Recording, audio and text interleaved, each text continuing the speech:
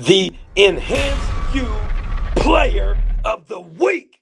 Burke Wilson, seventh grade from Springfield, a double double, 20 points and 13 rebounds.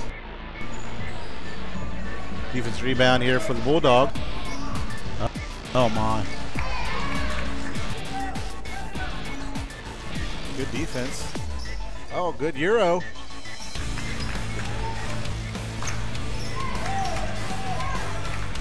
Long shot off the mark. Good rebound.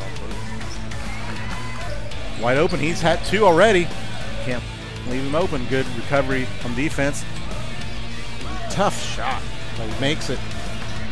Another offensive rebound. Three point attempt. Bang.